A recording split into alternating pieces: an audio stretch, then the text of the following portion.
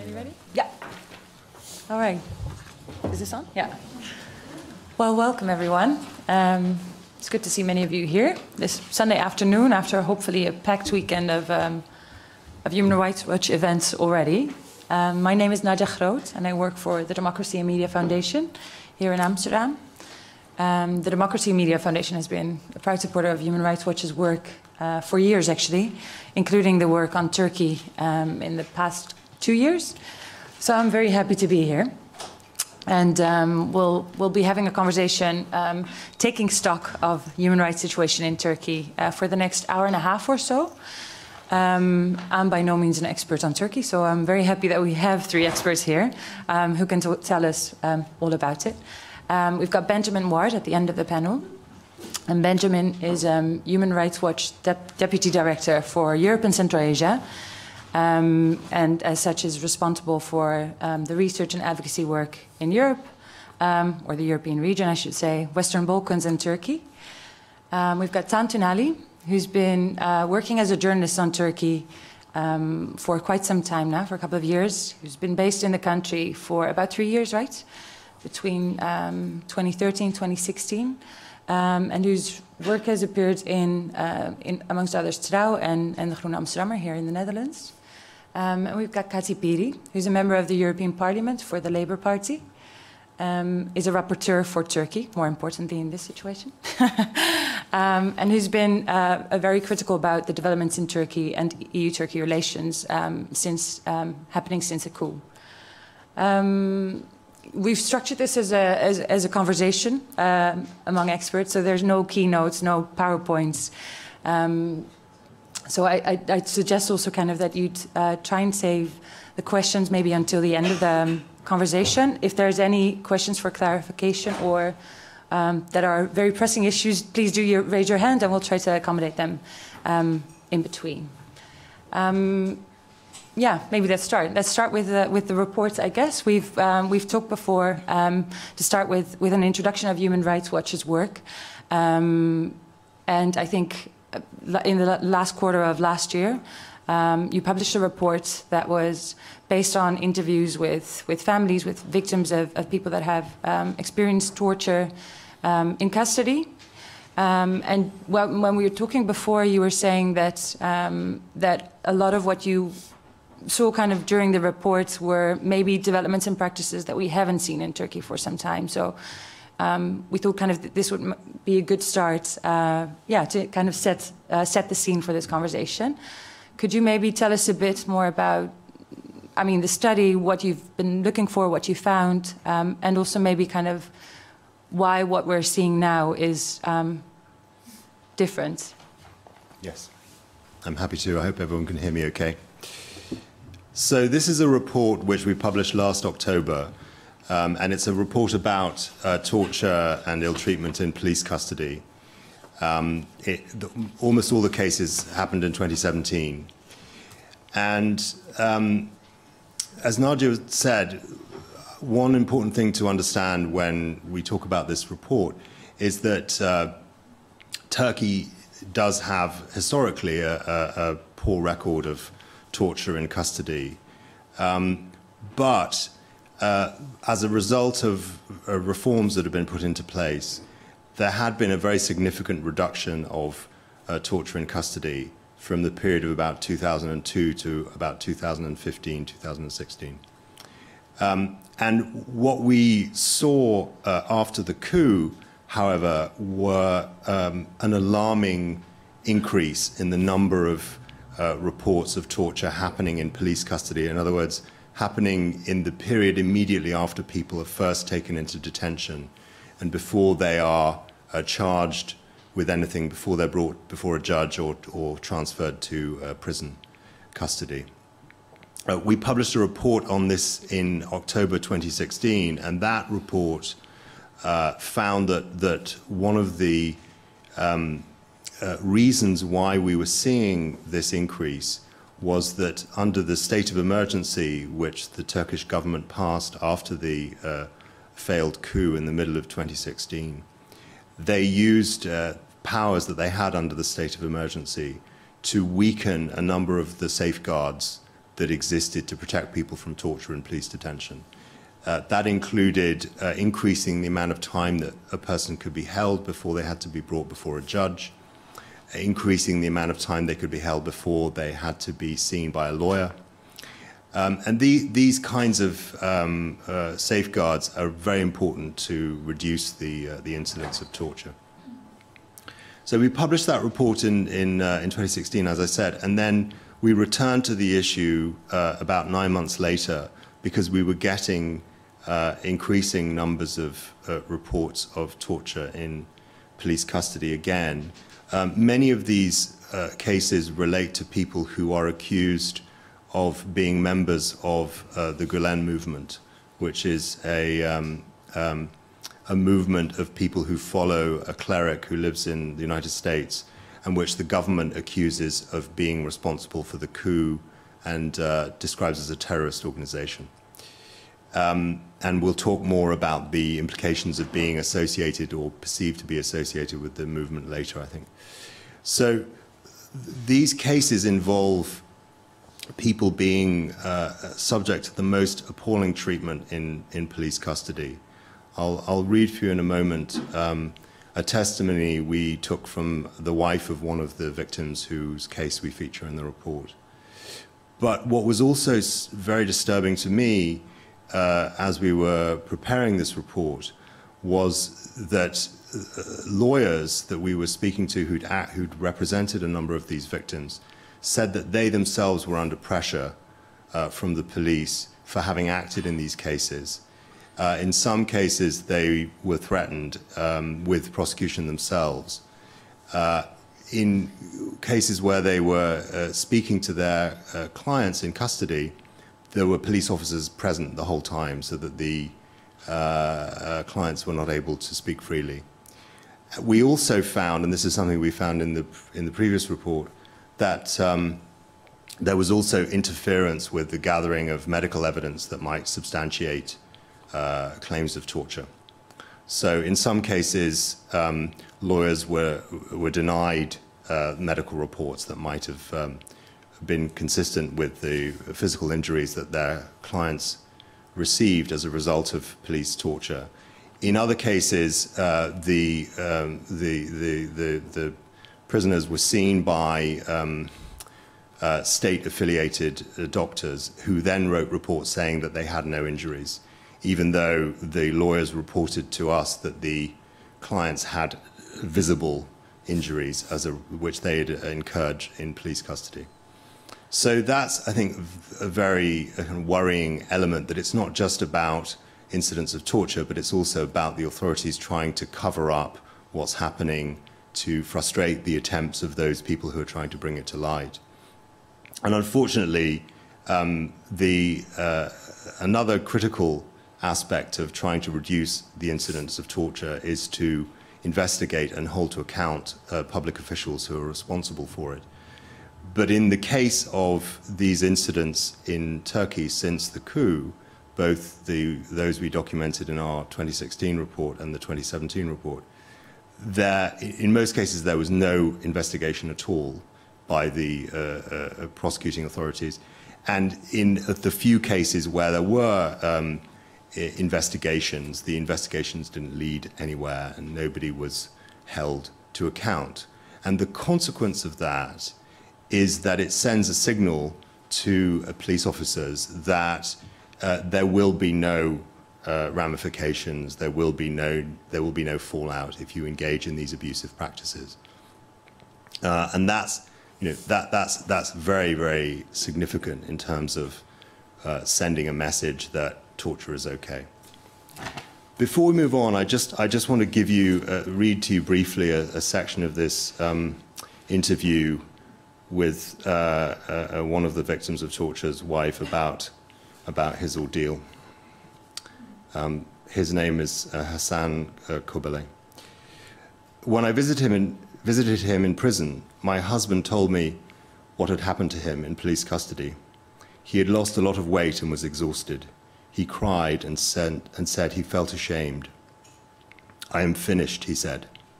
He told me he had been tortured. I wanted to boost his morale, but how could I? he was changed completely. When he spoke at the court hearing, it was hard to hear all he said, but he described the insults being stripped naked, being blindfolded and gagged, having his sexual organs squeezed. My husband cried as he recounted it in court. The judge didn't stop him speaking. The police sitting in the courtroom took notes in detail and stared at us threateningly. Those are the kinds of incidents that we have documented, and I think it, it, it, shows the, the devastating consequences that, that torture has on, vic- on the victims and also on their families. And um, unfortunately, as I said, the, the, a lot of the work that was done to try to reduce uh, incidents of torture and to put into place reforms to, to make it less likely um, have been have been weakened, and we now have a climate in which uh, those people who are regarded as, as enemies of the government um, are at real risk of this kind of treatment. Thank you. That's that's a very disheartening um, quote to kind of uh, end with. But um, maybe kind of maybe we could broaden the conversation and bring in Tan. Um, you've also been in. Um, I mean, traveling to Turkey and talking to a lot of uh, family members and and uh, military um, um, personnel, I should say, people, um, people who've, who've been affected by um, by the the repercussions post post coup. Um, so we might not be ta- talking about kind of torture explicitly, but could you relate a bit, kind of, on what the experience of of um, of the people have been, kind of, that you've talked to? Yeah, uh, maybe you're referring to um, cadets. Uh, I wrote an article just after the coup uh, when many people uh, from the military academies in Istanbul uh, who had No, I'm sorry. Yeah, go ahead. uh, people from the military academy in Istanbul who had occupied the bridge were all taken in, and indeed then we spoke to family members and. Yeah, in a way, I think it's symbolic. These people, they were no, no part of uh, some big plot to, to overthrow the government, but they were just there and they were uh, abiding the, by the orders of their uh, superiors. Uh, and after that, we have seen, of course, that uh, tens of thousands of people have uh, been uh, taken into custody or uh, lost their jobs. Uh, main, often in media, it's represented as if these are mainly people affiliated with the Gulen movement, but it's of course much broader. Um, all kinds of opposition, uh, leftist, uh, uh, Kurdish activists, uh, they lost their jobs, and um, the consequences are very big for having a stigma. You know, when you lose your job, I, I think of teachers that I spoke to. Um, when you lose your job, you have this stigma, and people wouldn't want to be affiliated with you. Often your passports are revoked, your bank accounts are being frozen, uh, and it's very hard to uh, pick up your life and move on and find another job because people, as I said, don't want to be affiliated with you. Yeah. And there's this climate indeed that ben- Benjamin mentioned, where uh, yeah, anybody who has lost their job or who is uh, uh, uh, pointed out as a Gulenist or as a related to the, the PKK, Kur- Kur- Kurdish uh, opposition, um, yeah, has this stigma, and and yeah, it's, it's very hard to carry on life with such a stigma. Mhm. Have you been able, as a journalist, to talk to kind of people that, that have also maybe been through um, pre-trial detention or have been held, Mm-hmm. uh, and that have experienced um, more or less what Benjamin described, um, and who were willing to talk about it afterwards? Mm, I didn't particularly uh, uh, sp- speak to people that were uh, tortured or ill-treated uh, uh, in, in prison, in custody. Um, but yeah, Benjamin spelled it out uh, very well that there's in, in Turkey an environment where anything goes, and when people that carry out torture, police officers, and are not have the feeling that they can do this without being punished, this is of course a very dangerous uh, development. Yeah. And yeah, I mean, the numbers we hear are tens of thousands, more than 100,000 people, but the, the, it's good to stress that the effect is, is much wider, of course. These people all have family members, uh, colleagues, uh, so it's a really considerable part of society that uh, was affected after the, by the coup crackdown, after post-coup crackdown. Yeah. Maybe Kati, also you've you travelled to Turkey and well and tried to directly after the coup. um, were um, well, I, I, was about to say detained, which is not the right word. No, uh, held at the border. no, also not held at the border, but I was not welcome. Not able to yeah. go. Um, no, I went. They just told me I'm not welcome, but I did go. I'm sorry. Um, that that correction is very welcome. um, I think, kind of on on numerous occasions, uh, yeah, you've also kind of been able to uh, talk with a very wide range of parties. Um, to what extent, kind of, do I mean both accounts? I guess they're they're slightly different, but does this resonate with what your what your experience is? Yes, I mean uh, it's it's my job as um, as rapporteur for the European Parliament, of course, to always talk to all the political parties inside Turkey, but also with civil society organizations, uh, with trade unions, with all the segments that um, you know that form the basis of of of of, uh, Tur of Turkish society. And uh, I would dare to say one third or half of my usual interlocutors are behind bars by now. So uh, that I think uh, very much, uh, you know, tells you about the situation. I think it's important to say that the moment the coup attempt happened, and uh, I do think we underestimated the impact that had on Turkish society. Um, not at all justifying what's happening, but we also didn't understand how what the impact was of that night on the mentality of a lot of people, the fear that a lot of people went through. And we are seeing the impact now, right? One and a half, two years later. Everything became a security issue in Turkey. Every aspect of life is being securitized. And um, um, with the state of emergency, normally a state of emergency after such an event, like you saw, for instance, in, in France happening, is very specific about the threat that caused you know, that caused, for instance, the group of people who are behind the coup attempt or behind the terrorist attack. But Turkey, actually, the moment they announced the state of emergency, they announced it absolutely very, very wide. So, not just relating to the events happening on 16 July, but leaving any opposition. Sorry? 15, right? 15 July, yeah. But leaving in 2016, yeah. But, but leaving, um, uh, leaving a broad scope for it. And the moment actually um, all these laws that we are talking about are so-called decree laws. They are made by a cabinet of ministers without the parliament. Officially, they would have have to have a say about it, but they don't. So one day you, you open the paper and you see your name suddenly on it as a person who has been fired by decree law. And uh, as Tan already explained, this means not only that you lost your job, your insurance, um, um, your pension, everything that goes with it, without even being able to protect yourself or know exactly what's the reason why you have been fired. But even in the private sector, no one will hire you. Mm. And by now, we are talking about more than 100,000 people who have been dismissed, who have been fired from their job, more than 50,000 people who have been jailed in the last uh, one and a half year. And like Tan said, if you only look at the narrow family and, and, and friends of these people, we're already talking about one and a half, two million people of Turkish society who are directly affected by it.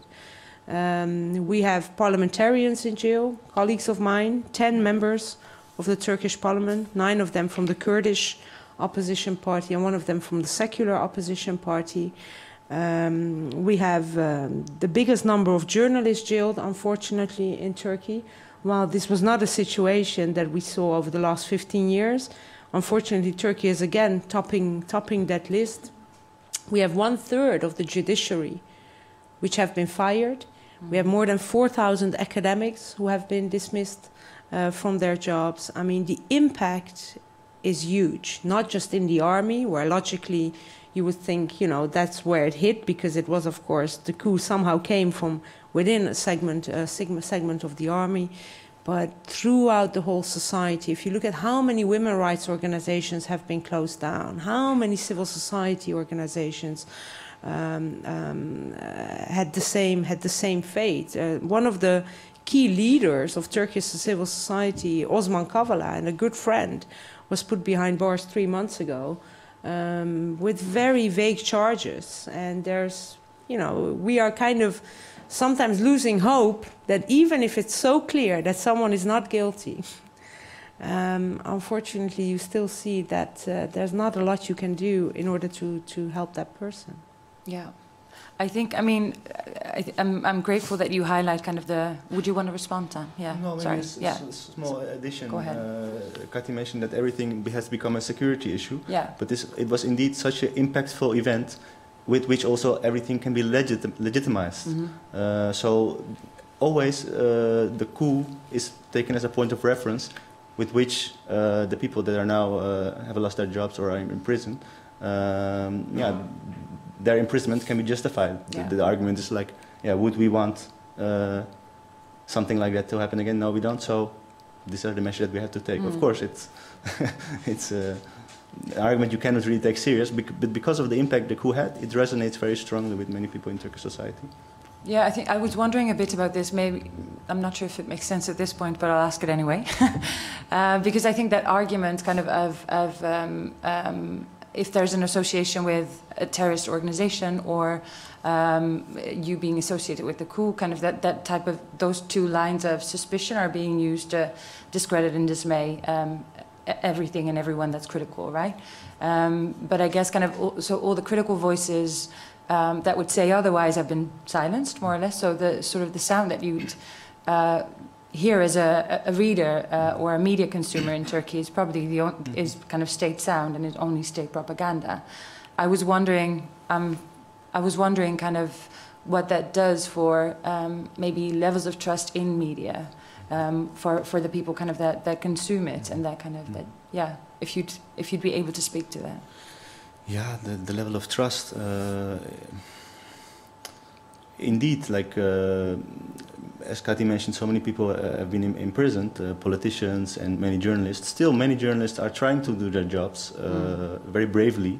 Uh, it's very difficult. They have very little outlet. Sometimes they uh, have been fired and they try to start their own outlet on YouTube or on uh, social media. But it's not so easy to make that uh, viable. Um, yeah, there, it's hard to talk in general terms about it, I think, because many uh, parts and, and, and of society and, parts of the country uh, have access mainly to the, the mainstream media, which are, yeah, there's hardly any critical voice left. Like uh, th- thinking of the, the referendum uh, that we'll come to talk about, maybe. Um, even if the HDP MPs uh, would have been outside and be able to campaign uh, for a no vote, uh, they would hardly have been heard Mhm. because simply there are very few outlets left uh, that would voice uh, su- such a such a such a voice. Um, so yeah, the, many many many uh, parts of society mainly consume the mainstream media. Other opposition parts uh, try to uh, use other uh, sources, but there's very little left. Hmm. And maybe when we talk about the media, it's important to mention that, especially in the southeast uh, of the country, many media outlets have been closed. Uh, foreign journalists uh, very rarely travel uh, to the southeast, where, of course, in 2015-16 there was a, a, a fighting going on. So, and also a lot of human rights abuses or uh, suspects of, of, of, human rights abuses, and we don't really know what is happening there because of this crackdown on the media.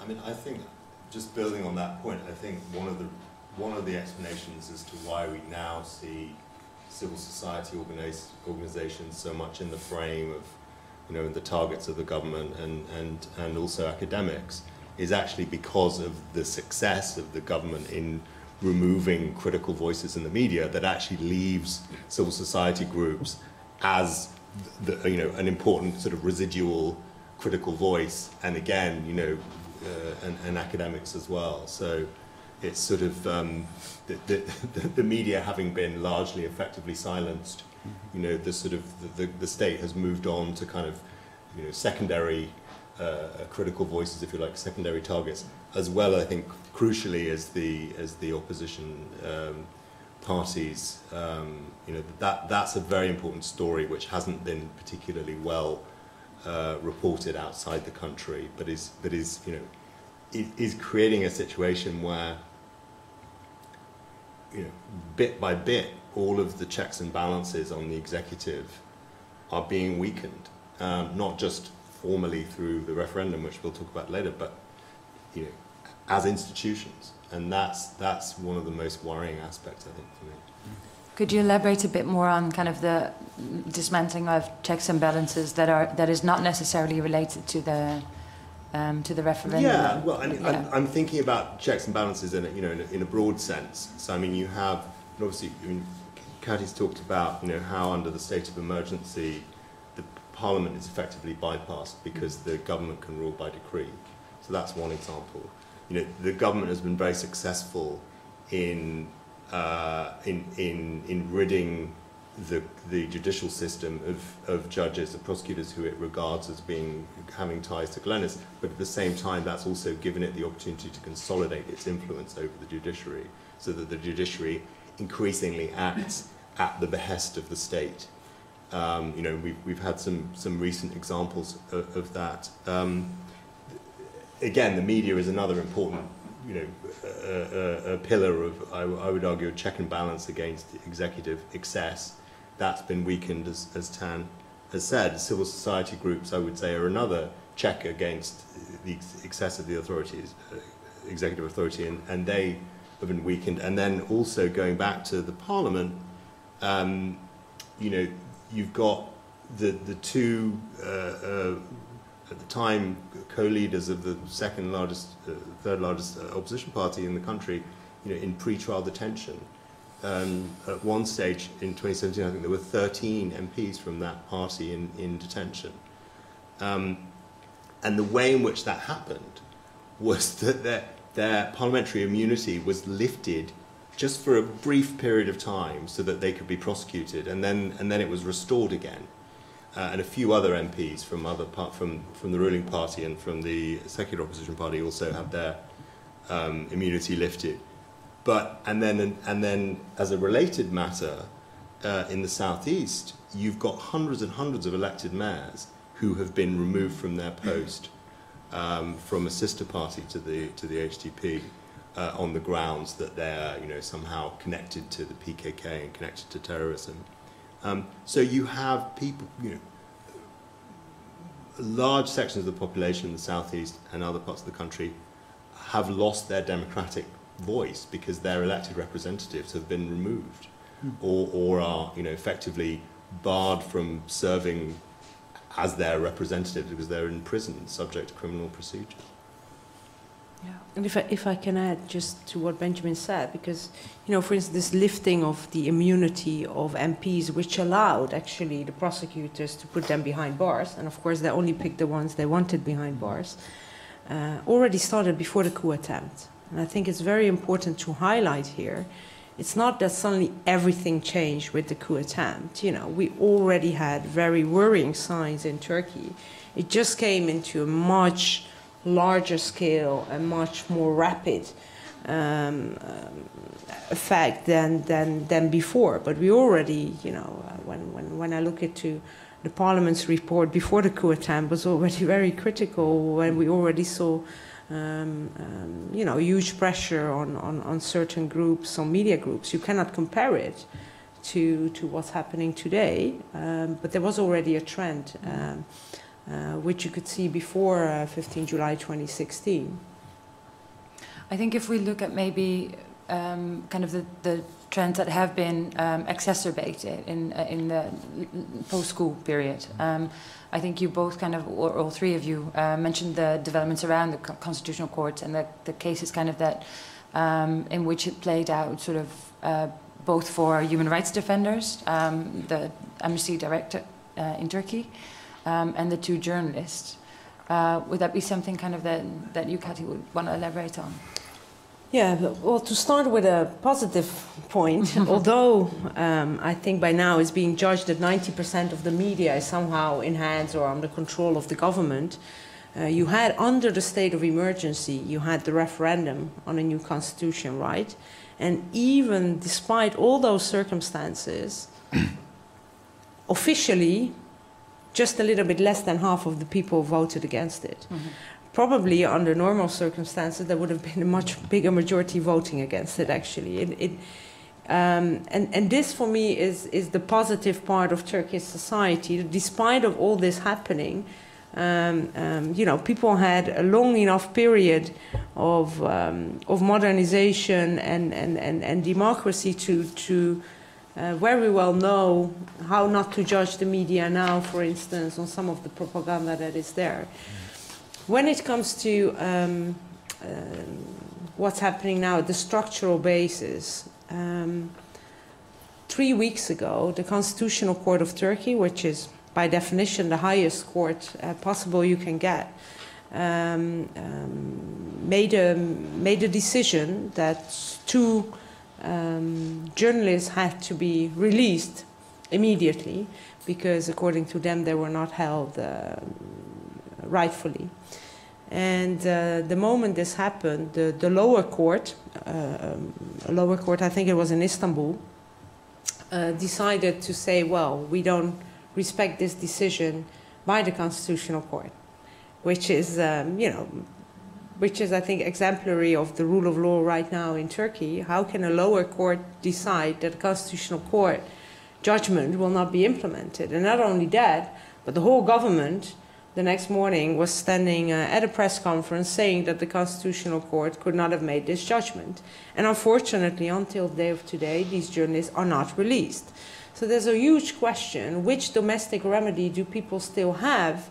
You know, if a lower court is actually convicting you in Turkey, that you can still really have your case heard at a higher court if there is a judgment by the Constitution and the whole government and everyone is just accepting that, well, this was just the Constitutional Court. It's politically not liked, so these people will not be released. And then you had last week the case of um, Amnesty International chair. You had the Istanbul 10, the 10 human rights defenders um, uh, who were uh, in prison. Some of them were uh, released on bail a couple of, couple of months ago, but the, the chair, Taner Kilic, was still in jail. There was a decision by a judge uh, to um, release him on bail, waiting so he could wait in freedom for, uh, for the next uh, court case immediately the prosecutor filed through another court um, a request to um, a request to rearrest him and in the end 24 hours later the next morning the same judge who the day before said he should be released on bail suddenly changed his mind and said no no he should stay in prison. So in the end uh, he spent the night in police custody. Um, uh, his family was waiting in izmir in front of the prison to finally see their father and their husband again after uh, after so many months and uh, they didn't have the chance and he's again um, he's again behind bars. And i think these are structural problems we are seeing in turkey that really um, it's very difficult to speak of any type of rule of law left even though i'm sure there are judges who try to take their job seriously and, and judge based on the court case in front of them. Mm -hmm but you can have a heavy price if you do that. Uh, we, we know many judges who have not been fired but been replaced, for instance, to the other side of the country in a small village. Uh, that means you have to move your whole family because uh, some people didn't like the judgments uh, they made. And then, yeah, then you're lucky actually, because of course, indeed, many people, uh, many judges have been uh, taken in or lost their job. Um, but yeah, yeah. The, the, political pressure has been gradually building up. Uh, I remember, of course, the, the case of Can Dündar, who was also uh, freed uh, by a uh, uh, decision by the Constitutional Court, and thereafter President Erdogan saying, "I don't uh, respect this decision." so indeed, before the coup, already the judiciary was under heavy pressure and it's been building up. And now this is the perfect example, I think, the decision of uh, Taner Kilic, of a judge who because of the charges against him are uh, factually mm. not true and absurd, um, who says the judge says, uh, according to law, he has to be freed. Um, but then the other day, after a political intervention, he has to rule to take him in again. Yeah. Yeah, I, I think maybe kind of this is a nice kind of uh, point in which to, to do bring in the referendum because I think these sort of practices also emerge from sort of emergency rule, right? And and uh, uh, a lot of this is um, being consolidated at the moment, or kind of at the point where where um, where this is enshrined in law uh, or constitutional reform. Um, Ben, would you could you maybe kind of remind us of, of what people voted on uh, in the referendum? maybe not point by point. Yeah, I mean, the non-technical if, bits. Effectively, what what the referendum does is it takes. I would say it, it takes the, the, the structures that were put in place uh, that, that exist under the state of emergency and it, it, it, it more or less makes them permanent. I mean, the other thing that it does is it, it turns the, the nature of the democratic system in Turkey from a, from a prime minister based system into a presidential system. Previously, the, historically, the, I mean, historically, uh, you know, until recently, the, the presidency was a largely ceremonial role in Turkey and the prime minister was the head of government and, the, and, and uh, appointed the cabinet. Um, uh, since uh, Erdogan became the, the president, he has exercised the powers that previously were that he exercised as prime minister, and arguably perhaps even more as as the president. Um, but constitutionally, he didn't actually have those powers.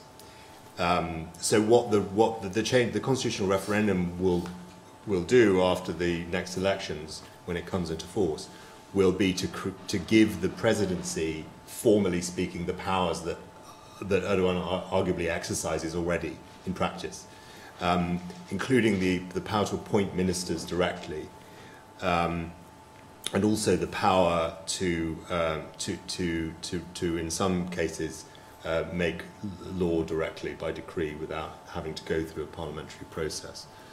Um, but I think the key, you know, a, a key thing to say there, in addition to I think the very important point about the fact that the, the referendum outcome was not was not uh, was actually quite close, despite the, the very negative context in which it was held.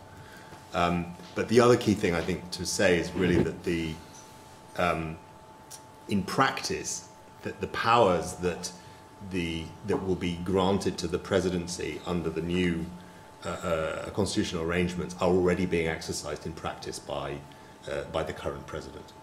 Um, and um, yeah, and uh, the- the other thing which I wanted to mention, I think I think it's very good that um, that that that Kati mentioned um, France. Certainly, the the state of emergency powers in France is something that uh, the Turkish government has has pointed to um, as a justification for its own powers, even though the state of emergency powers in France basically are about the ability of the police to carry out law enforcement actions without judicial authorization, and which Human Rights Watch has been very critical of, by the way. But they don't give the president the power to rule by decree and, and with, and, and to and remove the uh, scrutiny powers of the constitutional court in the way that the state of emergency in Turkey does.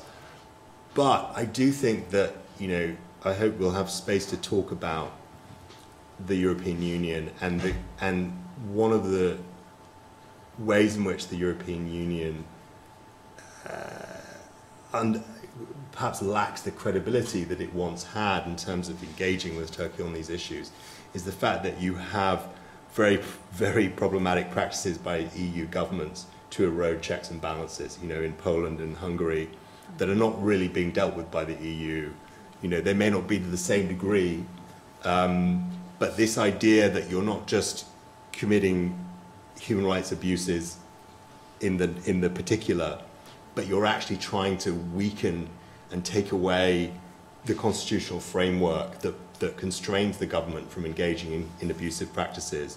That's not confined to Turkey and Europe. And I think, you know, if if Europe if the European Union wants to be credible engaging with Turkey on these issues, it also has to look at its own domestic, uh, internal, you know, track record on this. Actually. I guess that's Yeah. a call for me, right? Yeah. oh, Benjamin, I agree. But more went wrong with Turkey and EU than just that.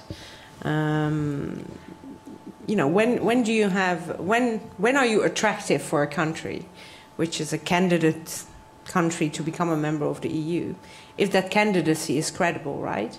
And um, I think uh, when the negotiations started with Turkey in 2004, we already then had a French President Sarkozy and a German President Merkel who said, well, we can start these negotiations, but they should never lead, lead to full membership. Um, that's one of the issues. So, you know, and we even said, even if Turkey fulfills all the criteria, unlike the Balkan countries, we will decide then whether it can really become a full member. So, of course, your carrot was from the beginning already smaller uh, than in previous in previous enlargements. I'm not saying that's the reason why things are happening in Turkey now, but that's one of the reasons why the EU does not have the attractiveness, the political attractiveness to Erdogan, um, as it might have had them, you know, at the at the early years. Um, apart from that, we had uh, we have an issue that we blocked all the accession negotiation chapters, not because of human rights abuses in Turkey, but more or less most of them were blocked because of Cyprus. Cyprus became a member of the EU. Each member state can block opening chapters. I won't go too much into detail, but just to tell you, you know, the EU also made sure we wanted to have. Uh, um, we cut ourselves in the finger, and then so many years later, when things go so wrong in Turkey, and, and you know, you wonder why all our concerns are not being taken seriously. I think it's good to also look at our track record of, of credibility mm-hmm. of the EU vis-à-vis vis-à-vis Turkey. Um, we we also do have we do treat Turkey differently than some other countries. Uh, perhaps not fairly, but it is a country of 80 million. If here in the Netherlands we, we would organize a debate about do you want Turkey to become a member of the EU, I can tell you it will be extremely heated debate, and that will probably be less heated if we do it about one of the Balkan countries which has 3 million population. So um, uh, the attractiveness, we lost it to Erdogan, but I don't think we lost it to a majority of the Turkish population. And we are risking to lose them now. And that is my fear. I think we have lost Erdogan a long time ago uh, when it comes to someone who wants to modernize, reform the country in a democratic way.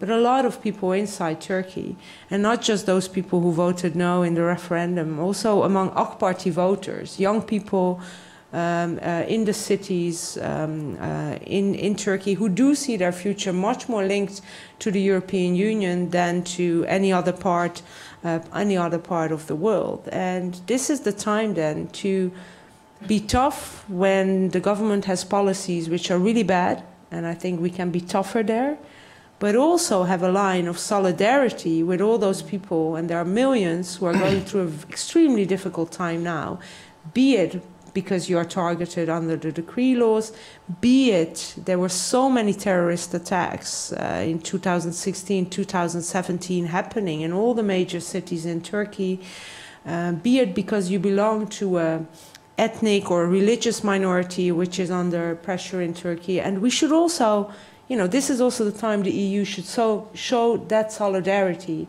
uh, with those people because I think it's a much bigger risk to lose a large part of a population in Turkey mm. than to lose a president who, as all of us, will one day uh, not be there anymore. I think this could be kind of a nice way. Um, maybe I'll like. I, I, was wondering if you wanted to respond, Tan. Yeah, I, yeah. I, I, recognize a bit what uh, what Kati says, and I think indeed it's a it's a big danger to lose the population or the hope. Like in the early years of the accession process, many people were very hopeful because they had this feeling that the EU on a human rights level could do something for them and uh, you know uh, expand rights. But now, uh, in my experience, also talking to people in Turkey, this hope is long gone actually. Mm. Um, and the elephant in the room, maybe that uh, you were uh, pointing at, was of course the feeling of uh, Turkey always waiting. Yeah? The the Christian club argument. they don't want us because we're an Islamic country. Um, yeah, the, and maybe, I mean, you could also have mentioned the, the refugee deal, the EU-Turkey deal, where uh, attached to this deal, uh, certain chapters were opened and there was this talk about, uh, right? Or they wanted the, to, but in the end, the EU didn't. No, but Cyprus I think blocked it. Yeah, yes. but sorry, yeah, but yeah this was, I think, very dangerous because yes. Turkey was already uh, on its path to uh, a very autocratic rule, and to connect these because of the mm -hmm. stakes, the common stakes that they had in the, uh, stemming the refugee flow, uh, to connect the EU accessions uh, talks to this deal. Yeah. I think, I mean, th this is kind of, I think, a segue into moving forward uh, in a way, or the road ahead, I, th I think, as, as it was called. Um, but if you look at, I mean, clearly in this conversation or in this setup, uh, the European Union is a really is an actor that we should look at a bit more closely. And I think you've already alluded to um, the accession procedure perhaps not being so, I, I think that's kind of widely uh, understood as maybe being less attractive uh, for, for Erdogan as a, as a carrot at the moment. Um, I guess the big question is then, I mean, what remains of the, of the leverage in the sort of the package and the tools that the EU has at, at its disposal? And also, I think particularly if you're saying the government is, is one thing, but there's also kind of the population, what kind of on the one hand, like what would the impact be if, if you say we, we kind of put this procedure at, on hold entirely? Um, and how do you still sort of draw in the population while kind of uh, being tough on the government? A lot of questions. Let me let me. Sorry. No, no, no. Break them down. Um, in the Parliament, in the European Parliament, we have said that if this new constitutional package will be implemented in 2019, that's the moment we should officially suspend the accession mm -hmm. talks. I'm not under the illusion that this will help anyone in Turkey. So let me be clear on that. But I also think the EU has a credibility issue. And if we don't stop under those circumstances formally talking about accession with this government in Turkey, then I don't think we have a lot of credibility left. Because what is a red line then? Um, so it, this is not a measure to show solidarity with the Turkish people because a lot of people in Turkey under pressure don't want these accession talks to be stopped because they say this is our only hope for the future actually that you know somehow when things will go better in Turkey we can restart this process even if the outcome might not be accession the process for them is an anchor of reforms so uh, but I, of course, as, as member of, of, of, the European Parliament, I also have uh, the feeling that we have to also represent the credibility and uphold the credibility of the European Union. What we can do now at the macro level is not a lot. I mean, the accession talks are kind of, are kind of uh, frozen. Mm -hmm.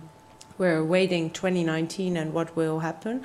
I think we have much more leverage in the economic field, which we are not always using in the economic field, I don't mean sanctions because the EU is not like Russia to use the economy in a political way.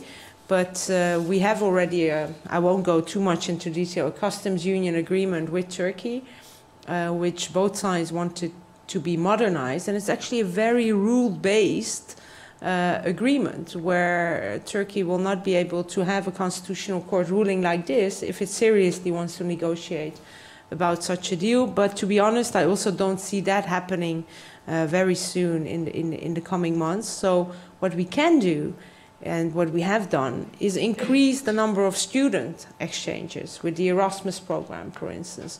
Unfortunately, right now there are not too many people from Europe students who want to go to Turkey, but we are trying to increase the number of possibilities for Turkish students to come uh, to the EU, all kind of exchange programs. We are looking with, talking with universities also here in Holland, how they can offer um, places to academics from Turkey who have fled, or how to cooperate with academics who lost their jobs and are still inside Turkey. Mm -hmm. You know, we have to look at this societal level because this is, I think, uh, how we can uh, uh, show that solidarity much more now.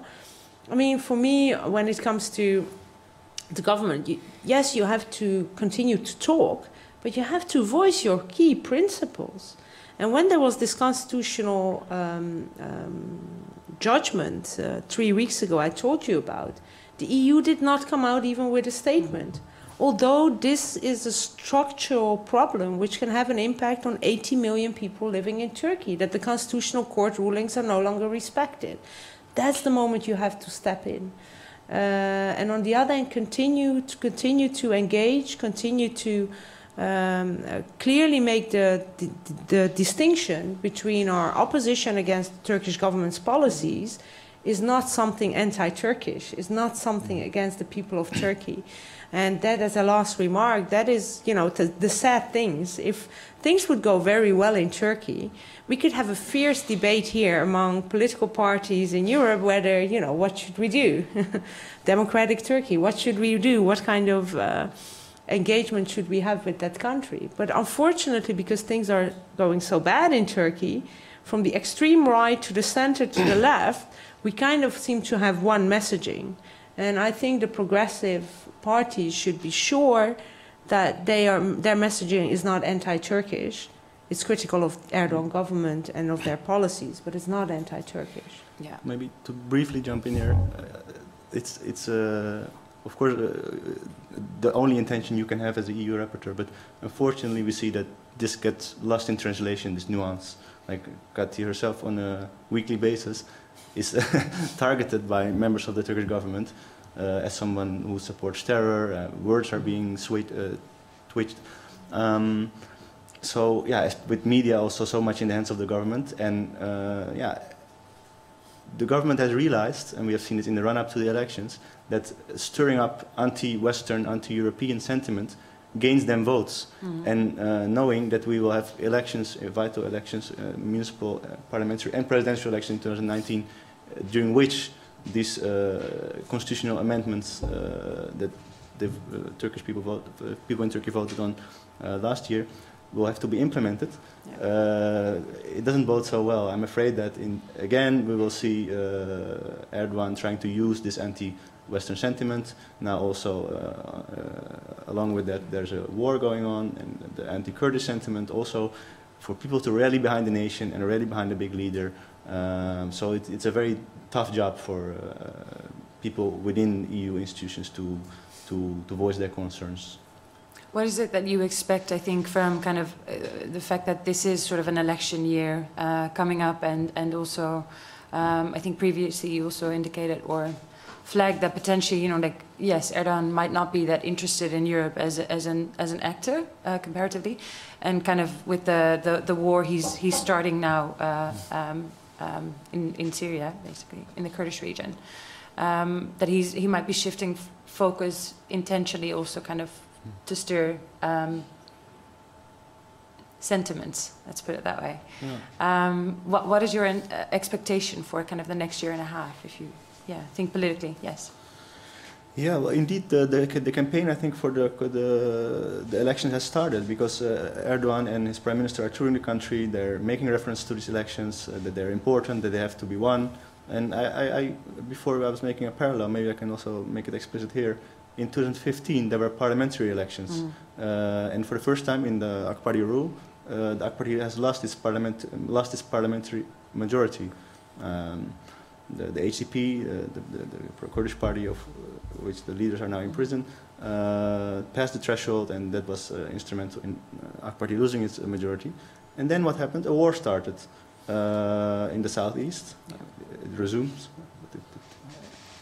and uh, indeed, uh, a bit like you see now, uh, nationalist sentiment was stirred and the argument was made, look, uh, people are trying to divide our country, we have to rally behind the government, stability, uh, and uh, a few months later, there were new elections, and the AK Party regained its majority in parliament. And I, looking ahead, I would say that a similar trend might take place. We have seen during the uh, during the referendum uh, that under such uh, difficult circumstances, with a very slim major majority, only the yes vote won. Uh, and also uh, disputable. Uh, there were allegations of corruption. Um, what, what, what I would expect to happen if this war continues and people, the government continues to try to rally people behind the army and the nationalist sentiment, uh, indeed, people uh, that have maybe before uh, voted against the government would rally behind the government again. Yeah, this is something that I think might happen. Yeah, I mean, in terms of sort of looking ahead, um, I think a lot of what I was going to say has been said already, but, but a, a few things to emphasize. You know, this is not, it's not just about the European Union. There are other mm -hmm you know, regional and international institutions that are important in relation to Turkey, um, particularly if we want to have an engagement which is actually based on human rights and the rule of law rather than a sort of political, politicized engagement. Um, you know, the, the, Council of Europe now, Parliamentary Assembly has, has um, put Turkey under the monitoring procedure again, which you know, does provide an opportunity for a sort of structured scrutiny of its human rights record. The European Court of Human Rights is more important than ever as a, as a, as a safeguard for human rights in Turkey, particularly now that the Constitutional Court seems to be ignored by the lower courts in Turkey. You know, some of the some of the UN mechanisms also can be can be really important. And then I think in terms of what what you know what we can do, what we should expect of our you know governments, I, I do think taking a principled approach is really important, and and also you know being willing to be a bit courageous. So, for example, you know one of the things that's that I've noticed over the years is that the European Union, if someone is uh, arrested and, and, and put in prison on clearly politically motivated charges, um, you will you will often see statements from the U.S. government saying this person should be freed, unconditionally. They should be freed. There's a recognition that this is a politically motivated charge. The European Union institutions tend to be much more cautious, and they will say they should be the case should be dealt with according to international fair trial standards, or you know this this sort of thing. And of course, the response of that to the Turkish authorities is this is being dealt with under you know fair trial. We have an independent judiciary. So I think there needs to be a you know there could be a bit more backbone uh, from times. And, and also bilateral European government relations with Turkey are really important. I mean, the German relationship, you know, the, the, the sort of um, the relationship between France and uh, and Turkey now under President Macron, I think, is you know is increasingly important. Um, and then the last thing I would say is just building a bit on Kati's point about you know uh, keeping space in Turkey for the for for people who are trying to move things in a positive direction, and that's about you know you won't be surprised to hear me say keep you know trying to do everything we can to preserve space for civil society. Turkey is really really blessed with a very rich and vibrant civil society, and you know if if they have the space. Uh, they can they can achieve a lot, but right now they're really under unprecedented pressure, and I think, you know, we should be using, we European institutions, European governments, European NGOs should be using all of the tools that we have to try to keep as much space for them as we can so that they can do their work. Are there any sp- particular recommendations that you'd give to the EU institutions apart from bold, um, bolder statements? Well, I, th- I, I mean, I think yeah, being willing to, being really willing to, you know, to, to, to say it like it is. You know, this is, these are trumped up charges. This is absurd. You know, th- th- this person should be freed. You know, that that's important. Um, and and again, having a, um, you know, having a having a having an engagement which is based on principle so that it because as uh, uh, you know as Kati said there are lots of people in in Europe lots of European politicians for whom the repression the current repression in Turkey is a gift because it gives them an opportunity to push Turkey away and to cloak it in the sort of uh, uh, mantle of, of of human rights when in fact they have no interest in in closer relations with Turkey. They never have um, you know obviously there are other people for whom you know, who are genuinely interested in, in human rights progress in Turkey and, and you know, having European governments willing to be frank and to focus their uh, messages on the need for human rights, compliance with human rights, adherence to human rights, and also the, the, the, the, the institutional framework, you know, the, the, the, the institutions. So not just looking on, looking at, in a sense, the outcomes, you know, so why is it that you know, we, we will criticize the fact that journalists are in prison, but we won't necessarily criticize the terrorism laws and the curbs on judicial independence that kind of make that possible. You know, that that kind of wider lens, I think, is, is also really important. Hmm. Yeah. Kati, I guess I would ask you um, a, a, broader question um, in line uh, with kind of with the first one I start with with, with Tan um, this being an election year also for the European Union, uh, and kind of this, or not this, yeah, yes. next year, yeah. kind of the next year and a half, I guess, the next 18 months. Um, I guess it's a very politicized environment. How, how kind of what are the ways it, or what are the hopes and expectations maybe that you'd have kind of in terms of human rights monitoring and like being able to um, uh, to sort of um, monitor and speak out in a very politicized environment. Well, my, my fear is that uh, although, for instance, in the Parliament we said 2019 could be the year to, you know, take a drastic decision, but this year is 2018, right? So, um, although I don't see the positive signals in Turkey, let, let that be clear, I do think this is a year where we should try in any way to, to at least slow down the process or, or help some of our, our friends who are in, in, in difficult position in Turkey, at least try to still use the tools that are available. Why I'm saying this, I'm afraid that uh, we go already into the pragmatic mode mm -hmm. When it comes to certain uh, heads of state. That, uh, you know, I'm afraid that the German government, the moment the journal, German journalist Deniz Yücel is released, which would be great, uh, but then they go into the pragmatic mode. Now, how can we give it back? So let's talk talking about trade. Let's talk about you know.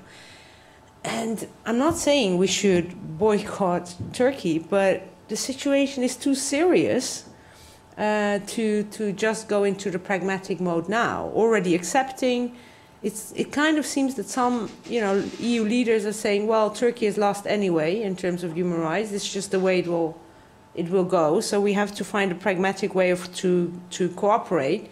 Also, especially of course in the countries which have a huge Turkish minority inside mm -hmm. the country as well, like in the Netherlands, like in Germany, like in Belgium, uh, and I think that would be really, really not fair to uh, millions of people inside Turkey who are still fighting and hoping that 2019 will not be the, the final turn to a very autocratic, undemocratic uh, Turkey for the long run. So I hope 2018 is a year where we are still trying uh, to, to, to reach out, to, to at least, as a minimum, to slow down this process of, um, of autocratic rule. But for that, we need uh, EU leaders.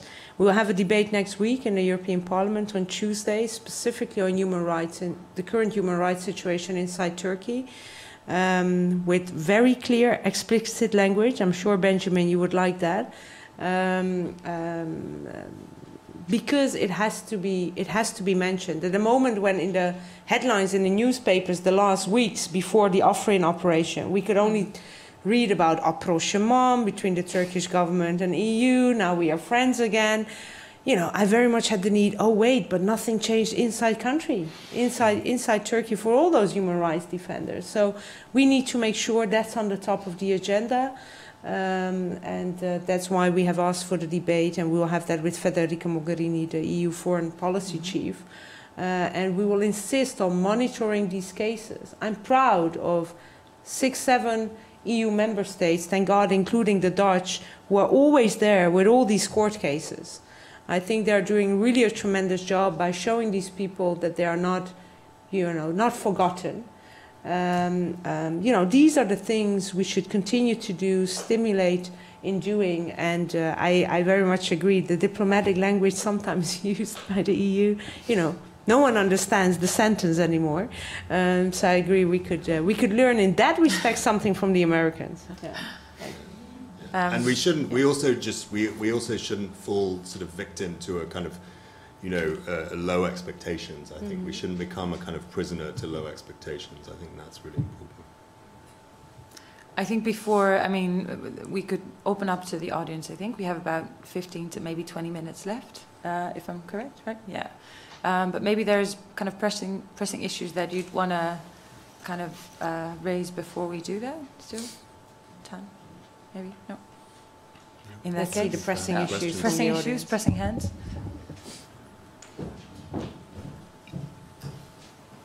Maybe, maybe I missed it, but I still don't really understand what, why the European uh, Union refrains from being harder. So you said, for instance, that the uh, economics sanctions are not used. Why, actually? What, what refrains uh, from being more American like we do, like American do, for instance, in Iran or in other countries, which are really put under pressure to boost the opposition, actually. Yeah. Yeah. Shall I answer? Or? Collect. What, Should we do? One should by we one? gather Yeah, yeah, questions, or gather, should we do it in one? That's the question. gather. Okay. I think so. Can I it makes make- more yeah, sense to do two or three at a Yeah. time. yeah. Behind you. Gather. Sorry, while, while we are on the American uh, clarity, I wonder if you could also address some of the impact. Uh, there's a lot of discussion now about how, of course, Trump's and his administration are giving kind of blank checks to, to strongmen, not only Turkey, but, but elsewhere, um, and how the recent decision, of course, to throw the U.S. alliance behind what Turkey considers to be a terrorist organization in Syria and some of those effects beyond their borders, what kind of effect that, that is having internally.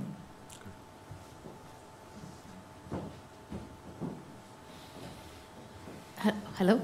And I'd like to take you back to the um, idea of uh, the European Union um, sort of not sorting out their internal issues with uh, countries like Poland and uh, Hungary. What can be realistically done right now to actually sort it out? Okay. Okay. Should we take one more, Let's- or like I take a three? Three is probably yeah. good. Yeah. Then we. Yeah. Of which two are EU targeted. yeah. So I, So, yeah. yeah. Okay. Well, I'm, I'm happy to I'm happy to have a have a have a go. Um, so, I mean, I think actually both in the case of the European Union and also in the case of the U.S. government, they have a lot of interests and there are a lot of different strands to their relationship with Turkey. There is, in the case of the EU, obviously, uh, as Tan mentioned, the uh, the EU-Turkey migration deal um, and the desire to keep the uh, boat migration route across the Aegean to the Greek islands as as uh, as closed as possible. Um, there's all there's also, of course, the the question of uh, security cooperation, particularly in relation to um, ISIS, which is which is a very important aspect of of, uh, of relations with Turkey, both for the uh, EU and US. There's the fact that Turkey is a NATO uh, country and has has military bases. Um, uh, so you know, and then there's the very very complicated question of uh, Syria's uh, Turkey's role in the Syrian conflict, um, even before the current the, the current uh, you know further complication um, in in Afrin. So you know, I think all of that um, helps to explain why uh, human rights doesn't always figure particularly high up the agenda.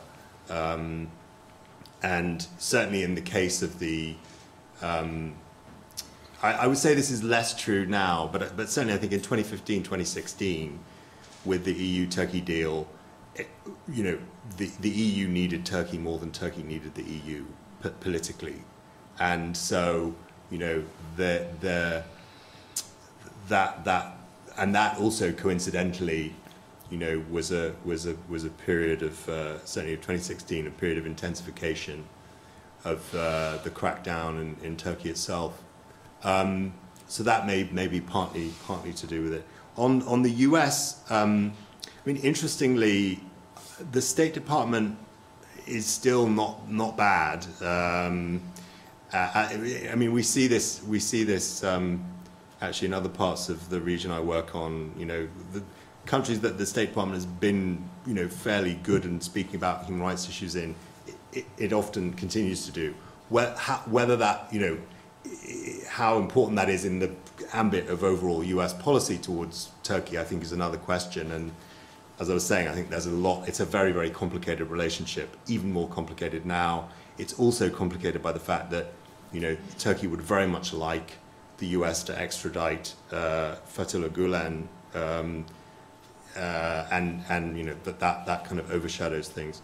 Um, on the on the question of the um, the EU's willingness to hold its own member states to account for, for their own human rights abuses and weakening of rule of law, I, I mean there you really have to differentiate between Poland and Hungary. I mean, on Poland, you know the European Commission has uh, started the Article 7 proceeding under the uh, Treaty of the European Union, which um, you know, is, uh, is a kind of political sanction Um, it's not one which is frankly likely to lead to the suspension of Poland's voting rights. But nevertheless, it's an important signal, and we're very keen to see member states you know, support the Commission's work and that the Parliament has also played a really important role in that regard. On Hungary, unfortunately, there's much less willingness, and the Parliament has been quite good, but the Commission has been much more reticent, and the, the member states have been very, very reluctant. And I think uh, a, a big part of that has to do with the fact that the ruling party in, in Hungary is part of the European People's Party political group in the in the sort of which is the main centre-right political group, and so it has much more political cover in the European Union context than the Polish government, which is part of a sort of far-right populist group, political group. Um, so actually, Human, Human Rights Watch has has has uh, has been arguing that um, uh, the European People's Party should expel Fidesz, the ruling party, from the EPP because it doesn't actually um, meet the uh, the values that the EPP uh, claims to represent. And, um, but, but that, I think, is why we don't see necessarily the same willingness to focus on the situation in Hungary. Would you want to add something? Yeah, I think I agree with everything you said, Benjamin. Um, um, perhaps with the addition on the on the question of um, you know why was the EU not willing to do more? I agree with all the arguments said. Uh, but I still think this is a very short term thinking, right? In the long run, I think a very unstable, undemocratic Turkey, which is our neighbor, is of much bigger threat to us than any of these short term uh, short term uh, agreements. So, um, unfortunately, this is the case. And uh, we have, for foreign policy inside the EU, you need 28 countries to agree. And unfortunately, we do not have one Turkey strategy. We have 28 strategies on how to deal with Turkey. The French is much different from the one in Berlin, or let alone the one from Sofia or Budapest. So, uh, this is the sadness, I say, as a politician who deals with foreign affairs inside the EU, where you could have, you know, you could have so much more impact if you wouldn't always need to look for 28 uh, to, to agree on, on everything. Um, then the question inside the EU, you're absolutely right. We started inside the parliament also the Article 7 procedure for Hungary. It shows actually the kind of. Um, um, I myself was born in Hungary. Uh, the reason why I joined my party in 2004, the, the that was the year of enlargement of the European Union, but because I could see the positive power that the EU had at that time to the country I was born in, uh, the country where my parents are from. And it's so sad to see that democracy is not a line that is just going up. It's actually something, as we see all around the world, it can also go down. And these, this is a country just like Poland with. Uh, where the checks and balances and you know the institutions are extremely weak and inside the EU allowing even inside the EU we can see how far this can go in terms of um, uh, you know the the lack of independence of the judiciary the pressure being put on journalists Hungary this has been happening like Benjamin says for over years and we don't have effective tools. We don't have effective tools inside the EU on how to deal with it. Um, uh, you know, we're talking about this Article 7 procedure where you need, again, a unanimity of all the other countries in order to have it being invoked. And the Hungarians already said to their Polish parts, well, if it comes to the vote, we will be there on your side and the other way around. And extremely frustrating. It doesn't mean that it's not good that this is happening but we need in the future in a, because I think this is much big of a much bigger threat, this erosion of democracy inside the EU than a Brexit for the future of the European Union. If we allow that the basic values, you know, on which the European Union are found, can be so blatantly um, um, breached. Uh, that's not a European Union I want to defend. So we will have to find tools in the future on how we can deal much better uh, with this threat. I would have liked to see this happening with Hungary, this Article 7, already years ago. Then perhaps the Polish government would have thought twice before actually engaging in all these uh, anti-democratic uh, um, uh, issues. But the EU learns from its mistakes, but very slow, way too slow, unfortunately. Yeah, it speaks to the credibility, I guess, that we, we have as a union. Um, I think there was a second batch, right? Yeah. Well, very different question, um, difficult to answer, I think. But um, several European members of the European Union have large Turkish-related populations who seem to have strong feelings, most of them, to their families and whatever in Turkey. Uh, Germany, the Netherlands, Belgium, maybe France, I don't know. What should we do? Because so far we have only done negative things like forbidden, forbidding Turkish ministers to come here. I think rightly so, but how, how come we can't um, bring these groups to more positive, positive towards democracy and, and, and thinking brightly about what's happening there and what, what they should do? Tan, you want to go first? Sure. Oh, oh, yes, sorry. Well, I'm not, a, not a particularly an expert on this. Well, uh, I think it's important in, to think of, in answering your question to look at domestic, uh, like how. Yeah. Again, your your point of reference is of course talking about the demonstration uh, shaped by the demonstration that we've seen after the coup and during the refer referendum ca uh, campaign when the minister was uh, ministers were not allowed to uh, come to the Netherlands. Um, it, I think we have to realize that it's uh, uh, emphasized so much on something that might not even that big of a problem. And what I think mainly we should look at is uh, the, the, the, the, feelings of exclusions uh, people uh, cheering for Erdogan or, or Turkey in the Netherlands have.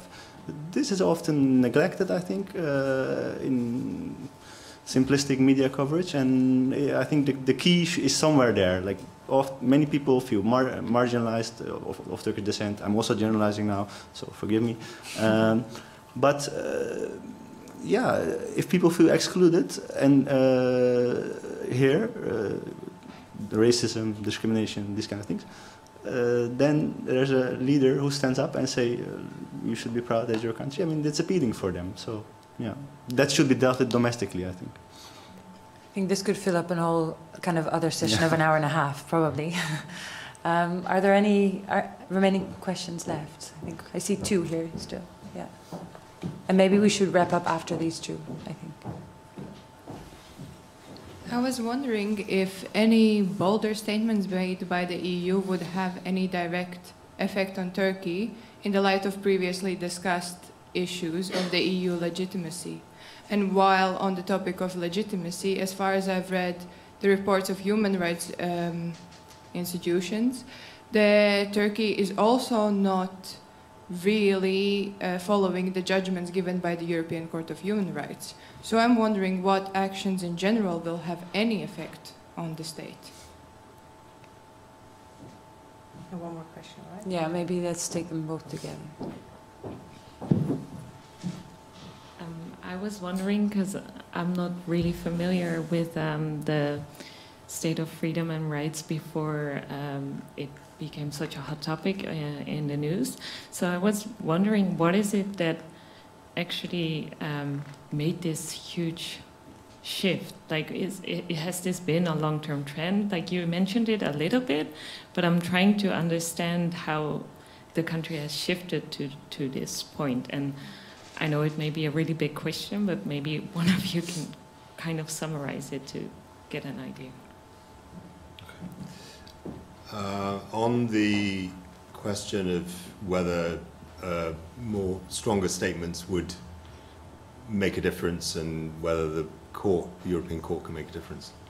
I mean, look, I don't think anyone should, should, and I don't think any of us have, have underestimated the challenge of um, trying to uh, bring about a greater respect for human rights and the rule of law in Turkey. Um, but I think in terms of the specific issue of human rights defenders, um, we can we can certainly point to experience, not just from Turkey but from many countries around the world, that the more specific the more precise and the stronger the intervention by European Union institutions and governments, the more protection it provides to human rights defenders who are under political pressure. So I think that on that specific issue, um, we, we can say that it does make a difference. Um, and on the court, I mean, you're right that, the, that, that Turkey doesn't um, uh, always implement the judgments of the court. That that's, that's a problem generally with the European Court because it doesn't have, um, I mean, it benefits from having a, a kind of mechanism for enforcement through the, through the Committee of Ministers that other human rights courts don't have, but it doesn't have, you know, a, a lot of, of sort of tools in the toolbox um, to try to force compliance. Um, however, uh, I don't think it. I don't think that that means that it doesn't have any force, any weight as a as an instrument for human rights. And certainly in the past, we can. You know, I've only been following Turkey closely for about ten years, but colleagues who've been following it for 20 and 30 years tell me that if you look at Turkey over the long term, including during periods when Turkey was under military control, you can say that the European Court of Human Rights has played a very positive role uh, and that, that it has been influential in Turkey. So it, it's important to see it in a kind of big picture sense, I think, rather than in relation to individual cases. Um, could you, sorry, could you, could you give one or two examples of that positive influence of the in relation to the European Court of Human Rights. I was talking about the European Court of Human Rights. So I mean, I can't give you I can't give you individual cases now. I mean, but but uh, you know, in terms of, for example, what I was talking about earlier, which was the the reduction of the incidence of torture in custody, the the recommendations of the European Court of Human Rights about concrete reforms that Turkey to, could put into place to reduce that practice had an influence in reducing the amount of torture. Uh, another example, and again one where we've seen a bit of backsliding is the whole phenomenon of enforced disappearances. You know, the, the European Court of Human Rights, I think, was a very important uh, in finding facts about the practice of enforced disappearance by uh, Turkish state authorities, you know, in the 90s. And you know, that did make a difference in terms of state practice going forward. Yeah. That was a really big question, I think, that we uh, could wrap up with, but I'm not sure who would uh, dare to take it. um, how how did this all, uh, yeah, came about? How did it all begin? how did it start? and where? I'm not a historian, uh, but a very, well, perhaps a bit simplified uh, answer, but I think one of the reasons is that President Erdogan reached a point where he can no longer democratically step back without uh, being either ending up in jail and his whole family or, or worse. Um, the, the moment, also the fight with the Gulen movement, you know, on the, on the one hand, there is something I think um, he's in power for such a long time, and power after a while, I think, do corrupt. So it's very good we have elections every now and then because I think the more power you have, and he, of course, also built up a whole economic power inside Turkey, also for him and his family.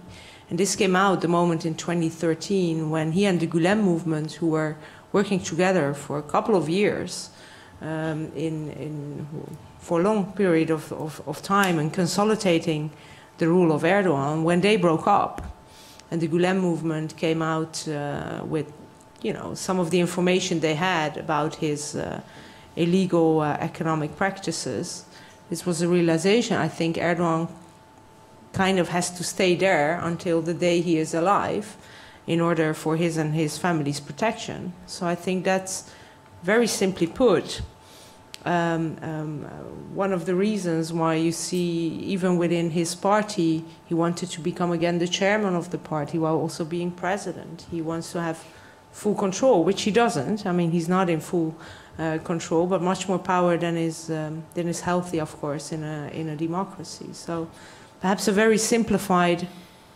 answer. Um, but if he would lose next year with the election, he knows this will be not just a loss for a politician, but but you know he wouldn't be secure of his um, of his life or of him being free out of prison Uh, neither would all of his family. And that makes it extremely difficult, if this is the reason behind it, how to address this issue of, um, of authoritarianism in the, in, in the country. I well, and the other unless, thing, yeah, yeah, yeah. ta- I mean, you, you made the point about about um, you know the, the, the, the elections in 2015, the results of the elections, and the fact that you know the the the, the ruling party, AK Party's share of the vote went down, it lost its absolute majority.